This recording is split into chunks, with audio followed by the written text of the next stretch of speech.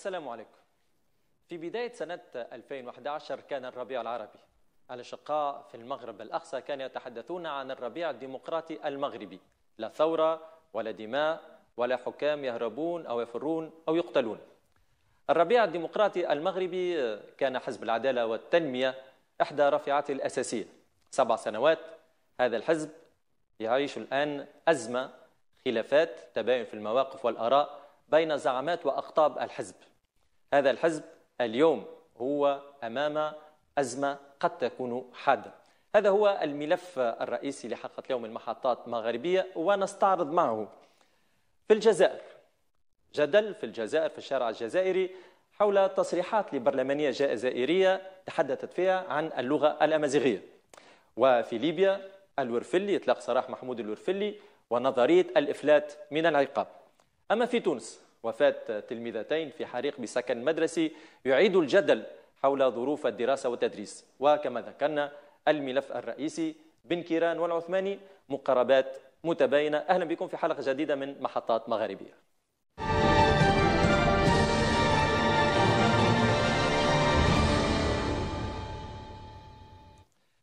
إذا تصريحات البرلمانية الجزائرية نعيمة صالحي حول اللغة الأمازيغية أثارت جدلا واسعا عند الرأي العام الجزائري وعند النخبة وكذلك عموم الشارع الجزائري. نتابع بعد هذا التقرير ثم نعود للنقاش. أثارت تصريحات البرلمانية الجزائرية نعيمة صالحي حول اللغة الأمازيغية جدلا واسعا في الجزائر حيث اعتبرتها لهجة وليست لغة. وقالت عنها أنها ميتة لا تملك لا الحروف ولا المعاني ولا علاقة لها بالحضارة مدافعة في المقابل وبشدة عن اللغة العربية. وبالتالي أنا ما تفرضش عليا لغة ماهيش لغة أصلا ما تفرضش عليا لغة ماهيش حاملة للعلوم ما تفرضش عليا لغة ما يعترفش بها ما يفهموهاش الناس برا كي ما ندير بها. نقرأ بها علم ما عندهاش مش حاملة للعلم نقرأ بها تكنولوجيا مش حاملة تكنولوجيا. نروح بها للخارج باش نهضر مع اللي في الخارج ما يعرفوهاش وما يفهموش. طيب بالله عليك واش نديروا بها؟ تباينت الآراء حول هذه التصريحات لدى الجزائريين خاصة وأنها أعقبت حالة من الاحتفاء الرسمي باللغة والثقافة الأمازيغية. فهناك من رأى أنها تزرع الفتنة وتقصي مكونا ثقافيا أصيلا في الجزائر في حين أيدتها شريحة أخرى متهمة دعاة الفرنكوفونية بمحاربة اللغة العربية. بعض المحللين ذهب إلى أن هذه التصريحات مسيسة بامتياز وخلفيتها أبعد من الحديث عن المسألة الثقافية في الجزائر وتمثلاتها وأن الشعب الجزائري غير معني بشكل مباشر بطرح مثل هذه الإشكالات بقدر رغبته في معالجة الوضع الاجتماعي والاقتصادي وتجاوز مخاطر أزمة قد تدخل البلاد في تعقيدات لا تتحملها. ومعنا لنقاش هذا الموضوع عبر الهاتف الأستاذ حبيب بوخليفة الأكاديمي والباحث الجزائري. أهلا بك أستاذ حبيب.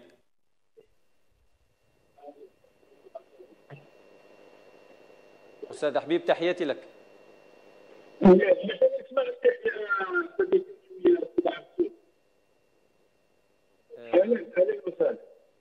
يبدو أن الاتصال نوعية الاتصال غير جيدة. سنعود الاتصال بك أستاذ أحبيب في آه، آه، تبعا آه، في وقت لاحق يعني. ونذهب إلى ليبيا. نذهب إلى ليبيا الموضوع الليبي إطلاق سراح محمود الورفلي محمود الورفلي المتهم بارتكابه لمجازر وإعدامات جماعية وفردية. محمود الورفلي الأذرع خليفة حفتر وقوات خليفة حفتر. محمود الوفلي الذي كانت تطالب محكمة الجنائية الدولية بتسليمه في أغسطس من السنة الماضية. نتابع بعض هذا التقرير ثم نعود للنقاش. أعلن مسؤول بقوات خليفة حفتر الخميس الماضي عن إطلاق سراح الرائد محمود الورفلي مؤكدا أنه بعد اكتمال التحقيقات تم إطلاق سراحه. هذا وتطالب المحكمة الجنائية الدولية باعتقال الورفلي بسبب دوره المباشر في إعدامات جماعية وفردية قتل فيها العشرات. خلال الحملات التي تقوم بها القوات التابعة لخليفة حفتر في مدينة بنغازي وما جاورها. وأظهرت مقاطع فيديو الورفلي وهو يقوم بقتل رهائن تحتجزهم الجهات الأمنية والعسكرية التابعة لحفتر. وهو ما يصنف جريمة حرب.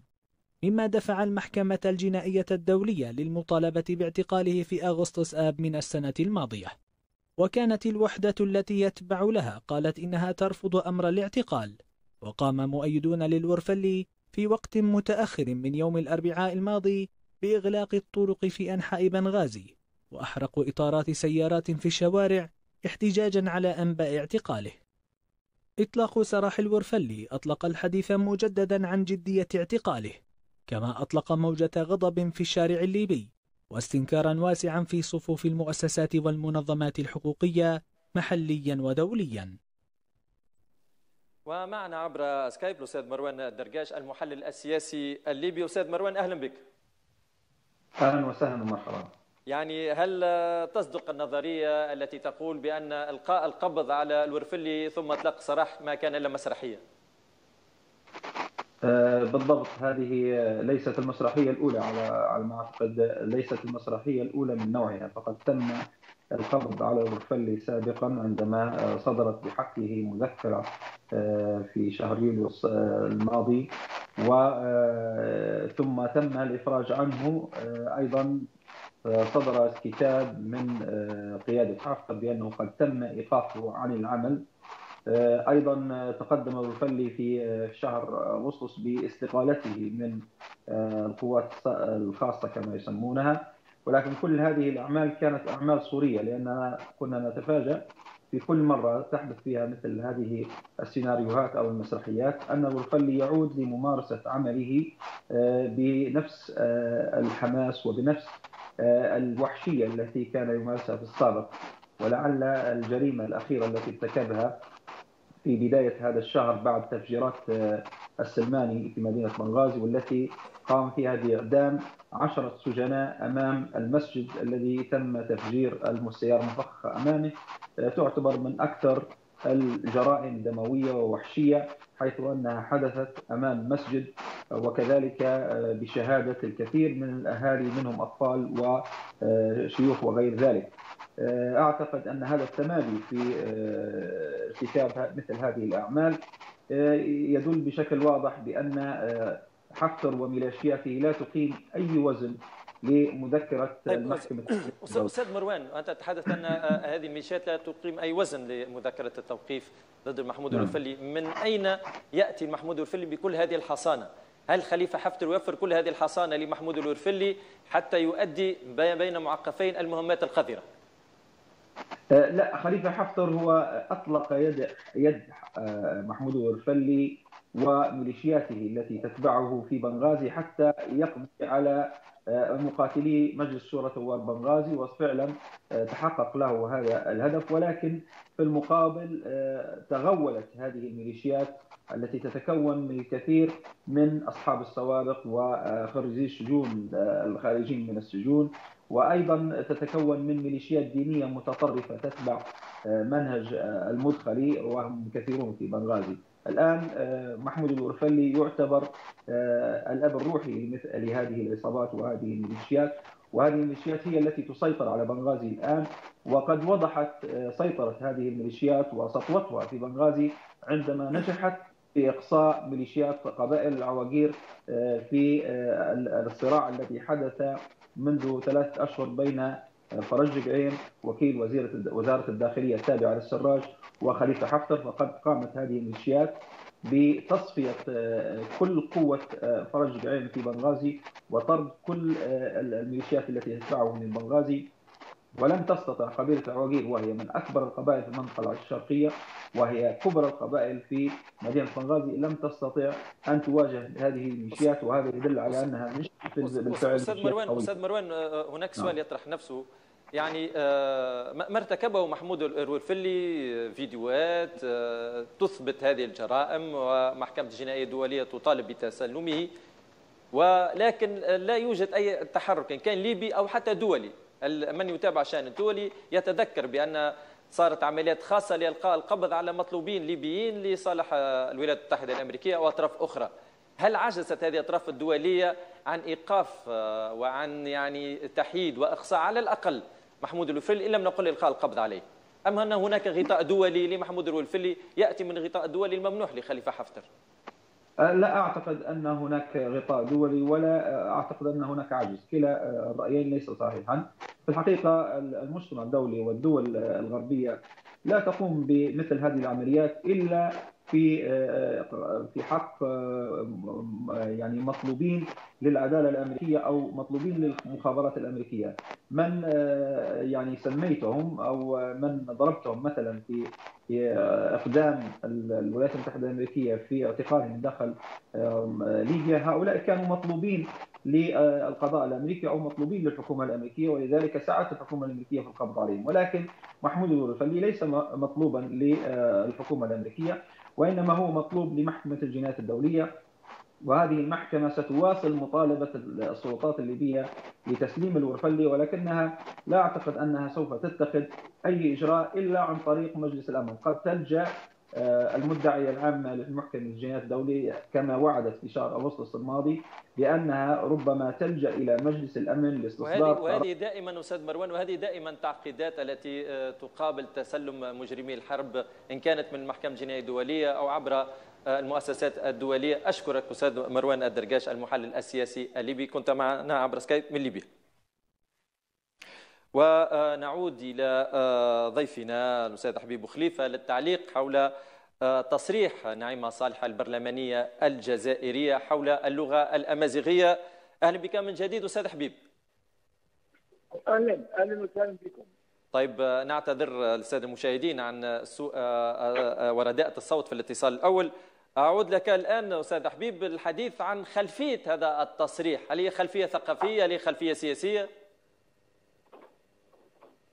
أعتقد أن الأمر بسيط جدا فيما يخص آه، مسألة آه، آه، تطور الثقافة الامازيغيه وترسيمها على مستوى المؤسسات. ولكن الغريب أو أو الأمر المدهش هو هو المواقف التي عارضت السيدة صالحي فيما يخص رأيها الخاص بالنسبة لي آه، آه، ليس اللغة الأمازيغية ان نصحح لا تتحدث عن اللغة الأمازيغية تتحدث عن القبائلية. وقالت أنا لا أعلم بنتي اللغة القبائلية حرة. نحن الآن في إطار تطوير مجتمع ديمقراطي يسمح ب يعني تضارب الآراء والمناقشه حول مواضيع جوهريه بخصوص مستقبل المجتمع الجزائري ولا يمكن لفئه ان تفرض شيء عن فئه أخرى لذلك رغم آه، ان هناك قضاء لأن الامر الامر الامر الخطير هو عندما نتلاعب آه، بقضايا جوهريه فيما يخص وحده الشعب الجزائري فتشخيص القضية الامازيغيه هو الشطر أو الجزء أو المعادله الخاطئه فيما يخص آه، تغيير هذه القضية أو هذه المساله. نعيمه هي قبل ما تكون آه، آه، رئيس الحزب هي مواطنه واي مواطن له الحق ان يبدي رايه في مساله اللغة الامازيغيه أو اللغة القبائليه طيب أستاذ حبيب أستاذ حبيب هذه المقاربه هذه المقاربة بين الثقافي والديمقراطي جيدة وفي حاجة لها الجزائر والفضاء العام الجزائري في حاجة لهذه المقاربة. ولكن ألا ترى بأن الواقع في الجزائر الحالة الاجتماعية الوضع الاقتصادي انسداد الأفق العمل السياسي كان هو أولى باشتغال النخبة السياسية في الجزائر على إثارة مثل هذه المواضيع التي تقريبا إلى حد ما محسوم فيها في الرأي العام أو نقول في المفهوم الأساسي عند مكون الثقافي الجزائري؟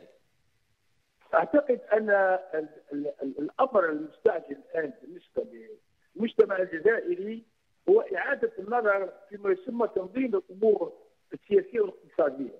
لأن عندما تضعف الدولة ويكثر الفساد فبطبيعة الحال تنطلق هذه الأشياء الجزئية التي لا تساعد عن بناء الدولة أعتقد أن الأمر يتعلق أكثر لو كانت الدولة قوية آه، بمؤسساتها ولم يكن هناك فساد لما تجرأ البعض من أن يفرق بين أبناء الوطن الواحد أعتقد أن الأمر آه، آه، لا يمكن ان يستمر آه، بهذه الوتيره لأنه لأنه يمكن ان يخلق مشاكل في المستقبل بالنسبة لوحده الشعب الجزائري ولكن هل هل استشرنا الشعب الجزائري في في هذا الموضوع في موضوع مثلا تقسيم اللغة الامازيغيه أو اللغة التركيه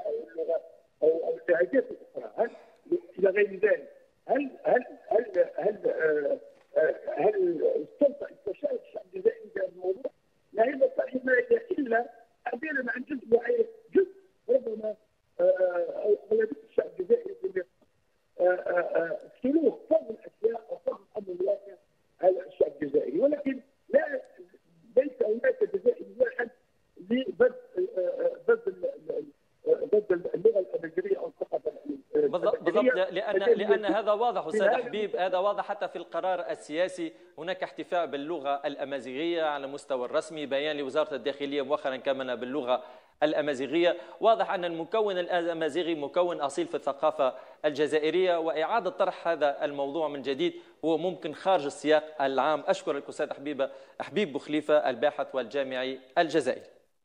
عربي.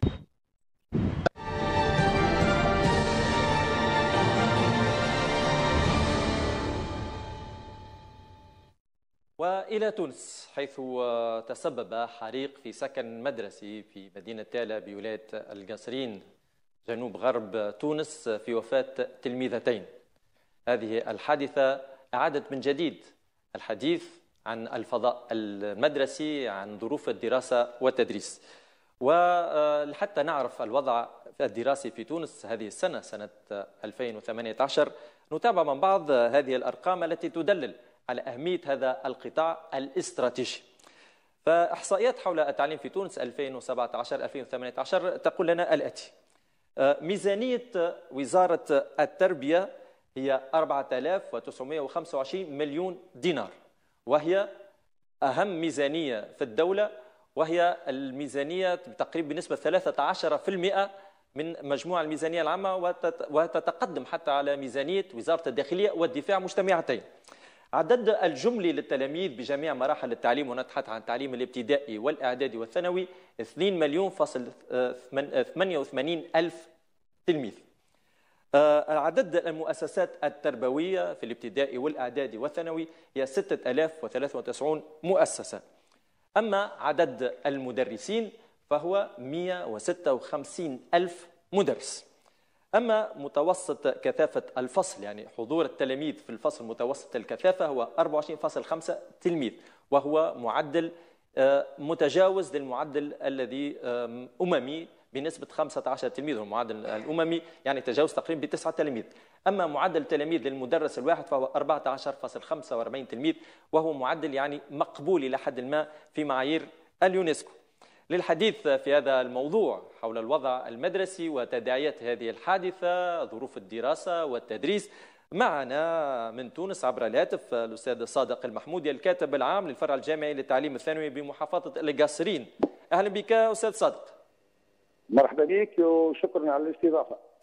يعني هذه الحادثة الأليمة وأنت ابن المدينة وابن الولاية أكيد يعني وجدانيا أنت أقرب من ممكن يتحدث عن هذه الحادثة؟ باعتبارك مربي باعتبار التلميذتين هي آه، ممكن آه، يكون إحدى تلميذاتك يعني. وأنا نعود للحديث عن ظروف الدراسة المناخ الذي تدور في هذه العملية ظروف التدريس. هل الفضاء المدرسي اليوم مهيأ من أجل عملية تعليمية سليمة؟ وممكن تكون منصة لناشئة تنهض بتونس. شكرا على الاستضافة مرة أخرى في البداية أو في المستهل لا أملك إلا أن اترحم على تلميذتين بريئتين تعدان معناها ثلاثة اكبادنا آه، فعلا آه، الأجواء التربوية والوضع التربوي ككل في تونس معناها كقطر هي لا تستجيب للمعايير الدولية والتربوية بل الإنسانية. ما جد أخيرا تاله من حادث فظيع وهو حريق معناها شب في في في مرقد مبيت خاص بالفتيات. فتيات معناها بريئة في في مقتبل العمر. نحن التحقيق لم يتم إلى حد الآن حتى نعرف معناها ما هي الأسباب. المهم أن الكارثة حصلت وفقدنا بنتين. لأن كنت تحكي قبل حين في التقديم على المعايير. معناها يفترض انه المركز لا يستوعب أكثر من 45 تلميذه هذا المركز بسبب استيعاب وقتها 112 تلميذه وصادف أن زرت المركز بعد حصول الحادث. معناها أجواء فظيعة.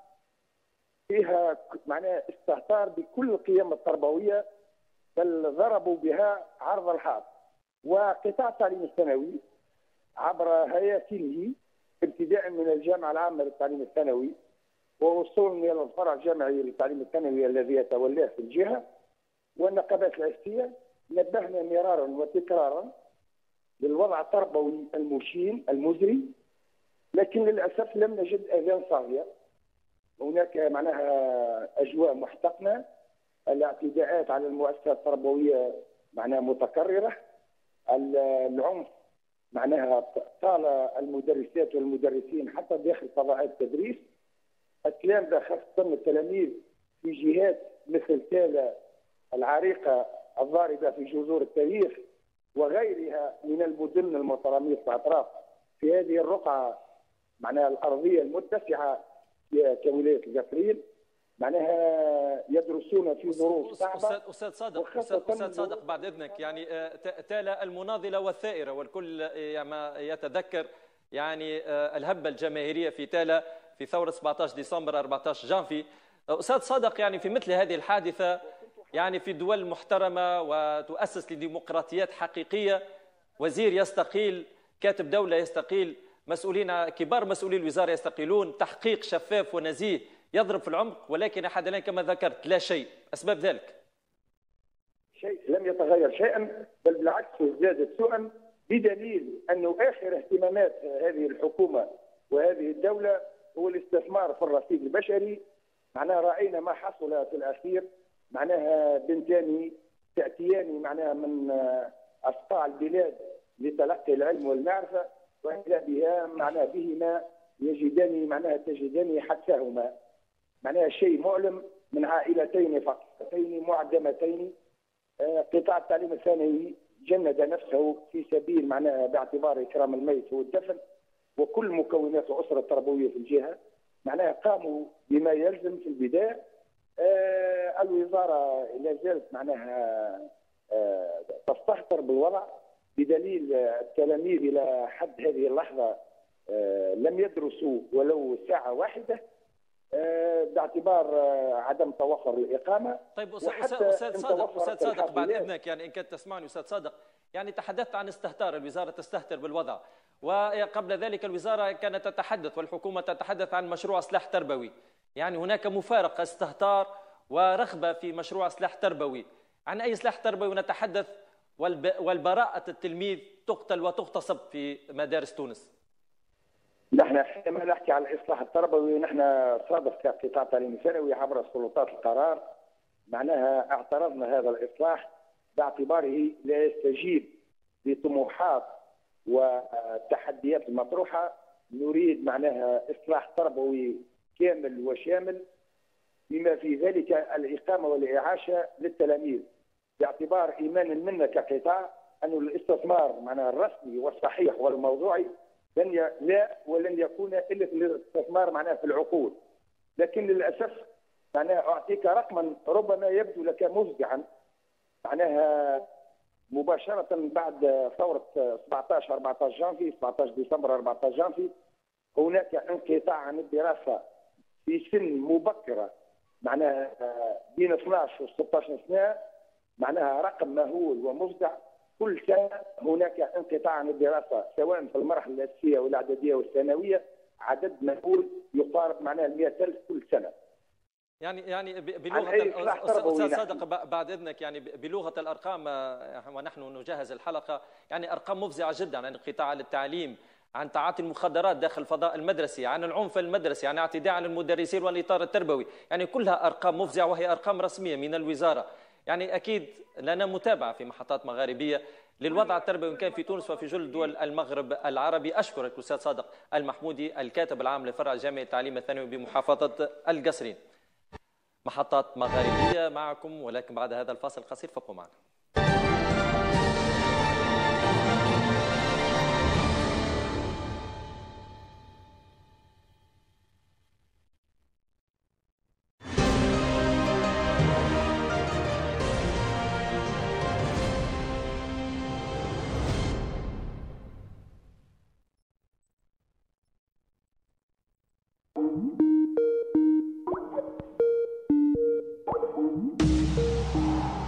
لأننا نعتبرك شريكا في صناعة المحتوى فقد خصصنا لك منصة شارك.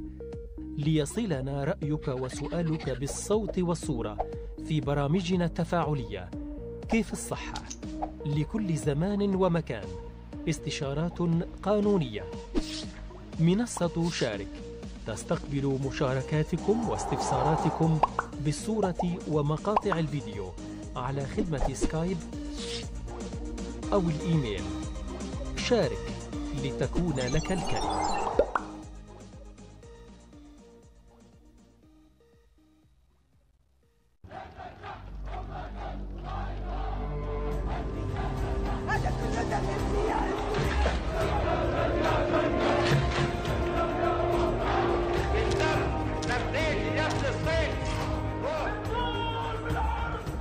فلسطين. قصة صمود. وجود الطاغية المستبد الفاسد هو انعكاس لحال الناس تخفى قومه فأطاعوه.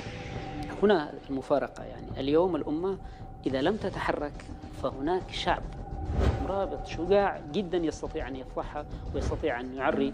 قال والعسكري بريد للأذى فطن أن إبليس للطغيان رباه.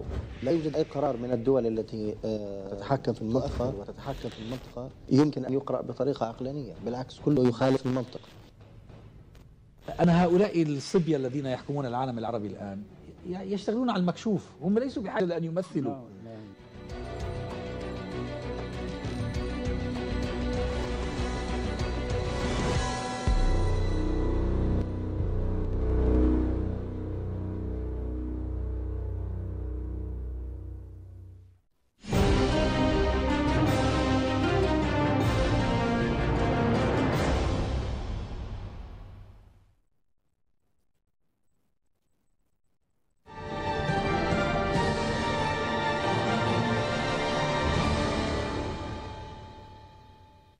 أهلا بكم مشاهدينا الكرام إلى الجزء الثاني من حلقة اليوم من محطات مغاربية.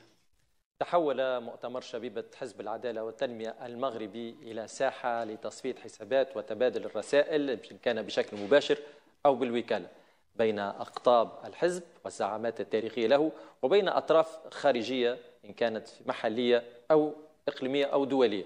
هذا المؤتمر الذي كانت فيه كلمة عبد الإله بن كيران الأمين العام السابق للحزب لها صدى وتداعيات إن كانت داخل الحزب أو على المشهد السياسي والحكومي عموما في المغرب. نتابع هذا التقرير ثم نعود للنقاش. في مشهد غير مألوف خاصة في صفوف الأحزاب ذات الخلفية الإسلامية عرفت فعاليات المؤتمر الوطني السادس لشبيبة حزب العدالة والتنمية المغربي المنعقد في أول الشهر الجاري تبادلا لرسائل سياسية مباشرة وبالوكالة. بين التيارين المختلفين في الحزب. الأول بقيادة الأمين العام ورئيس الحكومة سعد الدين العثماني والثاني بقيادة عبد الإله بن كيران الأمين العام السابق والتي تشير إلى أن الخلاف لم ينتهي ولم ينجح الحزب في استعادة لحمته كما كان حاله قبل زلزال الإعفاء كما وصفه بن كيران. فالاستقبال الكبير الذي خصصته شبيبة الحزب لبن كيران والشعارات التي جرى ترديدها في حضرة العثماني وباقي أعضاء الأمانة العامة من الوزراء مثل شعار الشعب يريد عودة بن كيران شعارات شكلت نوعا من التمايز في التعامل مع القيادتين. حيث بدا الأمر كما لو أنه مرتب له في حين كان التفاعل باهتا مع كلمة العثماني مقارنة ببن كيران. الرسائل لم تكن موجهة لداخل الحزب فقط بل تضمنت كلمة بن كيران تهجما مباشرا على شركاء الحزب في الحكومة مما تسبب في حرج كبير لرئيسها وأمين عام الحزب سعد الدين العثماني الشيء الذي دفعه للتبرؤ منها لاحقا. الخلاف والتباين داخل حزب العدالة جعل أحد قيادات الحزب يتحدث عن محاولة لتغيير المشهد السياسي والانقلاب على العثماني والأكيد أن تداعيات ما يقع داخل حزب العدالة والتنمية المغربي سينعكس بالضرورة على المشهد السياسي المغربي عموما وخاصة على أداء حكومة سعد الدين العثماني. مشاهدينا الكرام لمناقشة هذا الموضوع الخلاف بين عبد الإله بن كيران وسعد الدين العثماني اللي هي تباين في المقاربات أم اختلاف وجهات النظر في الأداء السياسي في الموقف من الحكومة. أما المسألة تجاوز ذلك إلى شخصنة هذا الخلاف. الحديث في هذا الموضوع نستقبل في الاستوديو الأستاذ زهير عطوف الباحث والمحلل السياسي. أهلا بك أستاذ زهير. وبعد قليل يلتحق بنا عبر الهاتف الاستاذ محمد بودن المحلل السياسي المغربي. أستاذ زهير يعني بدا المشهد غريبا نوعا ما عن حزب العدالة والتنمية، الحزب ذو خلفية إسلامية، حزب آه، يعني ظهيره الدعوي وحليفه الدعوي حركه توحيد والإصلاح التي على الأقل هي التي تضخ بقيادات وعناصر الفاعله وفعاليات الحزب وكوادره. نجد اليوم هذا الخلاف يعني كانت له آه، مؤتمر الشبيبه المؤتمر السادس شبيبه العداله والتنمية ساحة للرسائل والرسائل المضادة. وأيضا لتصفية حسابات حتى مع الحليف الدعوي حركة التوحيد والإصلاح. لماذا وصل الوضع في حزب العدالة والتنمية إلى هذا الحد؟ ولم يتم إدارة الأزمة بشكل لا تجعلها ظاهرة للعين كما آه، لاحظنا في المؤتمر. نعم اولا نشكركم على الاستضافة الكريمة في هذا البرنامج المتميز. لا شك أن الخلاف هو ليس وليد اللحظة. بالمناسبة هو الخلاف لكي نضع المشاهدين في الصورة كاملة. هو بدأ انطلاقا من إعفاء بن كيران في تشكيل الحكومة نعرف أن الملك المغرب عين سعد الدين العثمان آه، عبد الله بن كيران من أجل تشكيل ائتلاف حكومي. طبيعه الحال هناك ما يسمى بالبلوكاج في المغرب استمر ست أشهر في الأخير تم التخلي على عبد الإله بن كيران. الزلزال كما سماه هو. نعم سماه الزلزال السياسي الذي الآن هو ما زال في كل لحظة ارتدادات يعني يتكلم على هذا الزلزال الذي هو يعني في اعتقادي أنه يعني ضره بشكل كبير ليس فقط. الإعفاء وإنما طريقة الإعفاء المهينة التي تم إعفاء بها بن كيران وأيضا تشكيل الحكومة التي تم تشكيلها بشكل هجين وأيضا إدخال ما يسمى باتحاد الشراكة الذي هو كان رافض خط أحمر بدخول الحكومة. بالتالي حتى تبعات تشكيل الحكومة كانت أيضا هي شكلت إشكال بالنسبة لعبد الاله بن كيران. وبالتالي في اعتقادي أن الرجل لأن الرجل هو كان في قمة العطاء السياسي بتاعه كان آه الآن عبد الإله بن كان في ذلك في ذلك الحين في ذلك الوقت يشكل ليس فقط نموذج وإنما انموذجا وأيقونة للعمل السياسي والشعبي والاحتكاك بالشعب. الرجل في قمة العطاء بتاعه انتصار وراء انتصار في الانتخابات لا الجماعية ولا البلدية ولا الجهوية ولا حتى البرلمانية يتم يتم اعفائه بشكل مهين جدا. الرجل طبيعه الحال صبر إلى ولكن يبدو أن الأزمة هذه لم يعني أثرت في بشكل كبير في كل لحظة في كل مؤتمر لا المؤتمر الأخير بتاع حزب العداله والتنمية الذي كان قبل شهرين ولا اللقاءات التي نظمت مع عبد الإله بكيران ولا اللقاء الأخير الذي تم قبل بعض أيام مؤتمر الشبيبه التي يعني ذكر بهذا الموضوع يعني بتاع اعفائه من الحكومة. يبدو أن الأمر يعني حز في عبد الاله بكيران وكما تبعات تشكيل هذه الحكومة الآن اللي هي للأسف الشديد على المستوى الوطني وعلى المستوى المحلي هناك ضعف وهناك ضعف لأداء الحكومة.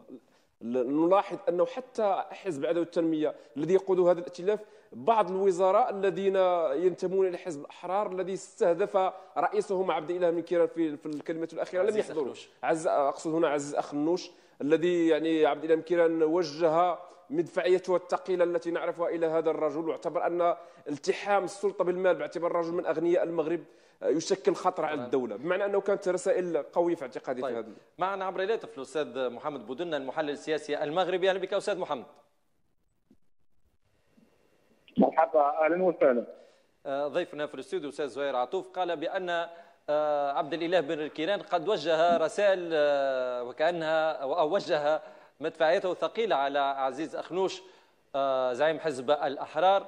وهذا جعل سعد الدين العثماني يتبرأ من هذه التصريحات ويقول بأن لا خوف ولا خلاف داخل الأغلبية الحاكمة.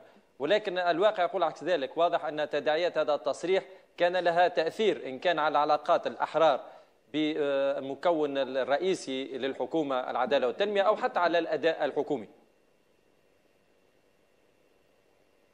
أعتقد أن التصريحات اخيره للامن العام السابق لحزب العدالة والتنميه ورئيس الحكومة السابق الله بن آه يعني هي تصريحات يمكن بأنها مقطوعة بالكثير من ال يعني ال يعني الكثير من من التعقيد خاصة وأن العلاقة بين آه، حزب العداله والتنميه وحزب التجمع الوطني الأحرار والأحزاب.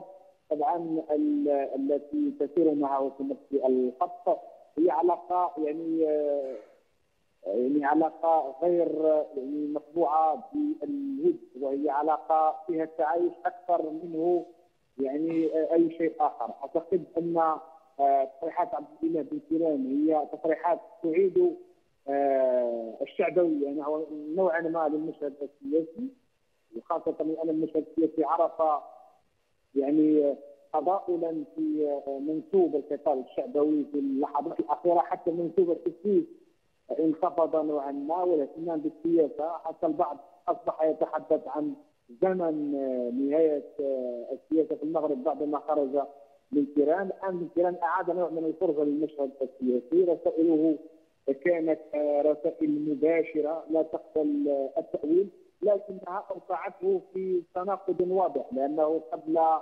يعني أشهر أو يعني أقل من سنة ذكر بأن عازم اخنوش رجل له مصداقية له موقع له حضور وفي التصريحات الأخيرة قال شيء آخر. معنى هناك أيضا حتى تيران متاثر بالمزاج الذي هو فيه. طبعا المزاج ليس جيدا تيران يحاول أن يقول للبعض لم أنتهي سياسيا لا زلت حاضرا يمكنني أن أؤثر.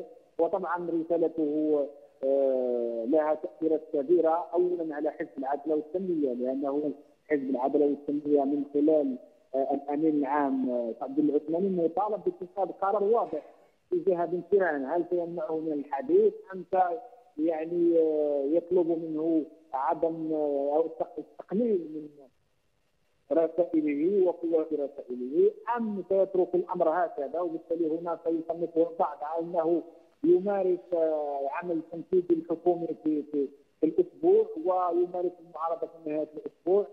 يعني هذا هذه كلها مؤشرات مرتبطة بتصريحات بن كيران ولكن آه، آه، يعني في المضامين الآن هناك مياه كثيرة تجري تحت جسر التحالف الحكومي اللي في الأصل هو أستاذ أستاذ أستاذ محمد أستاذ محمد يعني آه، في ردة فعل سعد الدين عثمان عندما يقول لا خلاف في الأغلبية الحاكمة ولا خلاف مع شركاء في الحكومة هل التيار الغالب الآن أو تيار الأمانة العامة وما يسمى بتيار الوزراء في حزب العدالة والتنمية قد فضل البقاء في الحكومة والتعاطي مع الأمر الواقع وإقرار هذا الأمر الواقع على الانخراط في التوجه ما بين آه، معقفين وكما آه، ذكرت ووصفت وأنت بالتوجه الشعبوي لعبد الله بن كيران الذي إلى حد ما هو خصم لهذه الحكومة لتركيبتها لأدائها وحتى لرؤية هذه الحكومة. لم أسمع السؤال جيدا ولكن آه، يعني وصلتني عبارة أن سعد العثماني أعلن على أنه يتواصل مع مكونات الائتلاف الحكومي وطبعا آه، يعني ليست هناك آه، يعني اجواء يعني مكهرباء بين الأطراف المكونة للائتلاف الحكومي بالتأكيد أن تصريحات بن سلام غير ملزمة لحكومة آه، العثماني ولكنها مؤثرة. وخاصة أن بن له من طبعا توفرت لديه الخبرة بشأن العمل السياسي والعمل الحكومي وقد يلعب على هذا الوتر بين السنة والأخرى خاصة وإن كان يعني لديه آه، مخطط أو رؤية حول يعني آه، التاثير على العمل الحكومي أو طبعا آه، يعني فرض فرض أن تفرز هذه اللحظة انصراف التحالف الحكومي. يعني العثماني الآن بين نارين. اولا يجب أن آه، يعني آه، يجب أن يقدم جوابا واضحا آه، حول الفرضيه المتعلقة بممارسة حزب العدالة والتنمية لدوري الاغلبيه والمعارضه في نفس الوقت ومن جهة أخرى يجب أن يتفاعل أو يتعاطى مع بن تيران الذي له شعبية جارفة داخل حزبه ويصنف اصبح يصنف من خلال المؤتمر الأخير مؤتمر الشريفه على أنه زعيم وطني. اذا فبن العثماني عليه أن يدبر هذين الصعوب يعني المعطيين الصعبين آه، معطى متعلق بالائتلاف الحكومي من أجل أن يستمر. ومعطى من أجل أن لا يقيد من حرية وهذه وهذه هي تبدو أستاذ محمد وهذه تبدو المعركة الحقيقية لسعد الدين العثماني. كيف تستمر الحكومة في عملها؟ وكيف أيضا يحافظ نعم. على الحد الأدنى من التماسك داخل حزب العدالة والتنمية باعتباره هو الأمين العام لهذا الحزب؟ أشكرك أستاذ محمد بودن المحلل السياسي المغربي. كنت معنا عبر الهاتف من المغرب. أعود لك أستاذ زهير. إذا يعني هناك خلاف له عديد المرتكزات. إن كان حول الحكومة تشكيل الحكومة.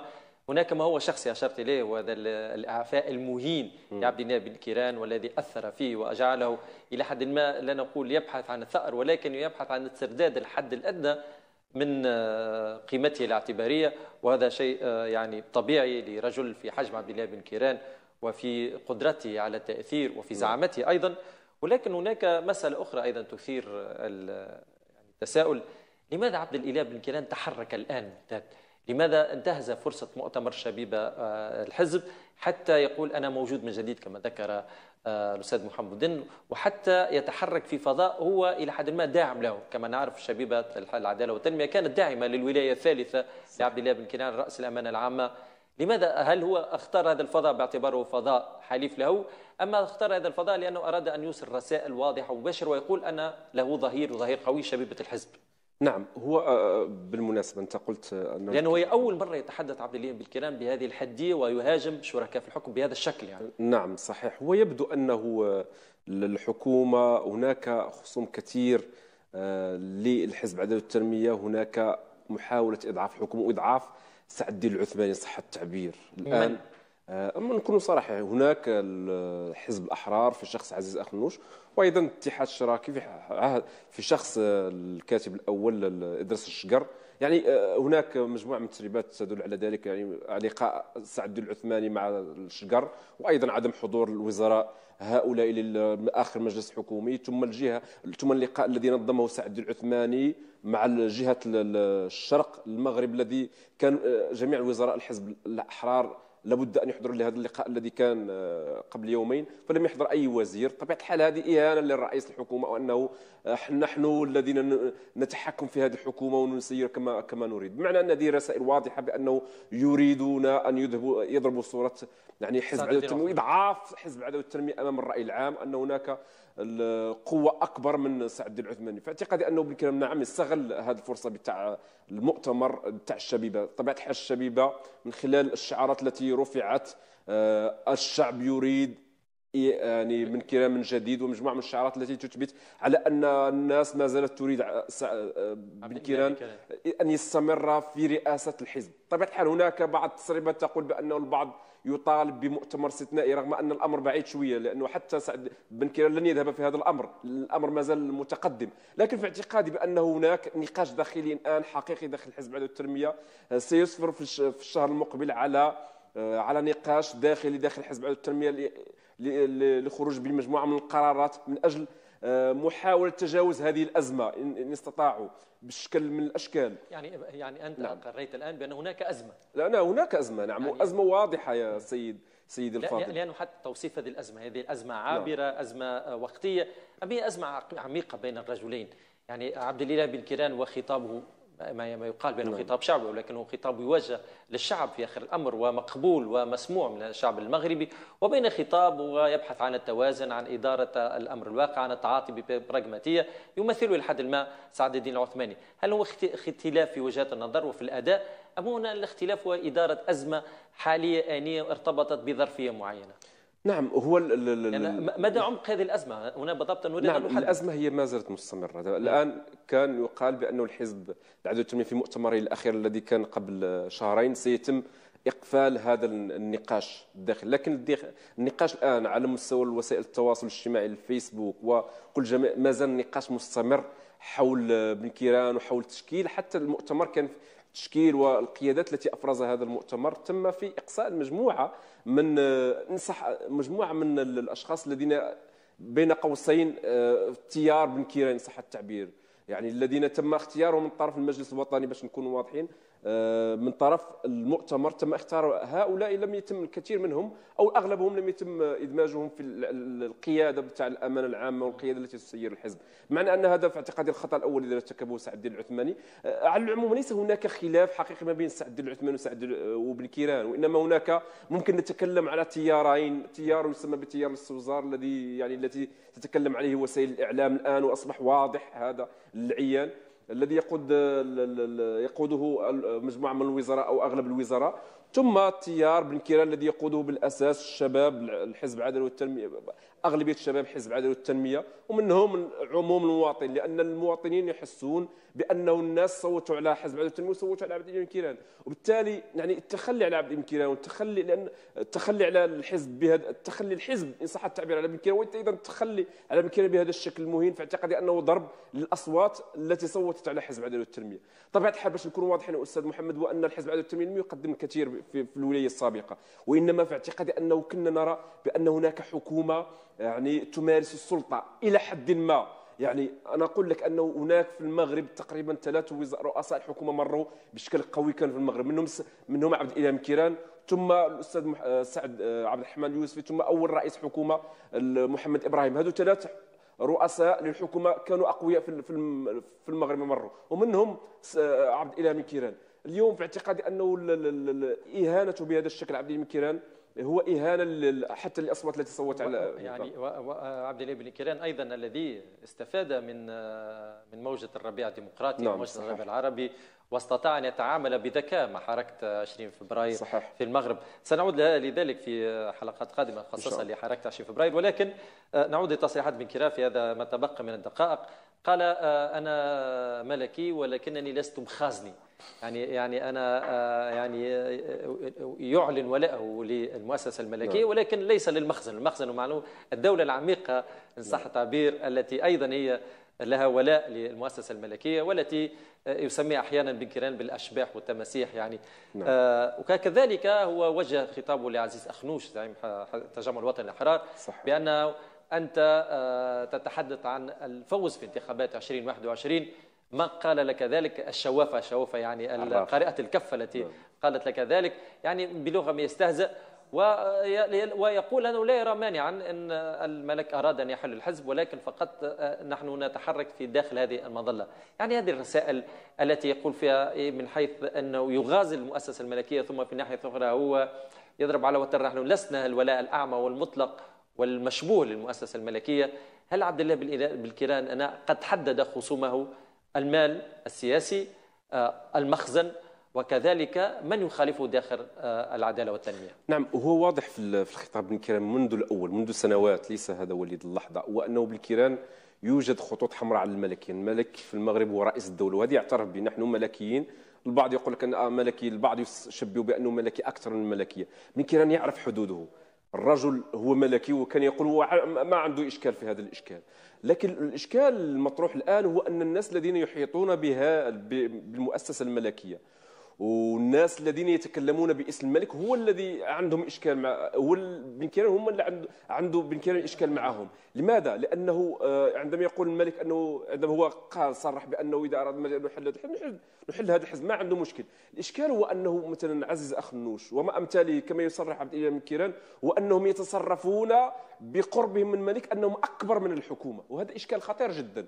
بمعنى ان هناك رئيس حكومة وهذا هو الذي لماذا لا أراد سعد لم يرد عبد الإله كيران في قبل في تشكيل الحكومة أن يدخل الحزب الحزب الاتحاد الشراكي الذي جره التجمع الوطني الأحرار. لأنه كان يعتبر بأن هذا الحزب يعني تجره الدولة العميقة ويجره حزب الإحرار بمعنى أنهم يريدون أن يسيطرون على المؤس... على الحكومة على مؤسسة الحكومة بشكل من الأشكال. لهذا رفض آه، عبد الإله بن كيران دخول الاتحاد الاشتراكي بمعنى أنه يريد أن تكون الحكومة آه، وزن حقيقي تشتغل به بشكل بشكل عادي وبشكل الذي صوت عليه الشعب لعبد الإله بن كيران فكان يرفض هذا التحكم في الحكومة في التحكم في الشخصيه يوجد رئيس الدولة الملك معروف ويوجد أحزاب سياسية ويوجد رئيس الحكومة كثاني السلطة في البلاد متمثله في رئيس الحكومة. كفى. من غير هؤلاء لا لا نستمع لهم إلا في إطار القوانين وفي إطار الديمقراطية التي تحكم البلاد. فأعتقد هكذا كان هو الخطاب بتاعه. وهذا الخطاب ديالو منذ سنوات. نعم. طيب يعني في في ثواني يعني في 15 ثانية. هل يمكن الآن أن أن أن, أن نشير إلى تخوف من التجربة الديمقراطية في المغرب بعد هذه الأزمة اللي يعيشها حزب العدالة والتنمية باختصار شديد. نعم هو الأزمة للأسف الشديد إحنا كنا نتكلم على أن المغرب يشكل استثناء. للأسف تشكيل الحكومة بهذا الشكل ممكن نقول أنه ضرب التحول الديمقراطي في المغرب. لكن في اعتقادي أنه ما زال الحزب رغم الضربات التي تلقى ما زال في اعتقادي أنه ممكن أن يشكل أمل للمغاربة ويشكل أمل آه، حقيقي في الانتقال والتحول الديمقراطي الذي عرفه المغرب الذي بدأه بشكل سريع في بعد 11 يجب 2011 يجب أن كل المنطقة العربية تعيش على أمل التحول الديمقراطي حتى في تجارب الثورات الربيع العربي هي أيضا تعيش على أمل النجاح. أشكرك أستاذ زهير عطوف الكاتب والمحلل السياسي الباحث عفوا المحلل السياسي المغربي. الشكر زملاء في الأعداد. والتنفيذ والساده المشاهدين على حسن المتابعة. حتى نلتقيكم في أمان الله.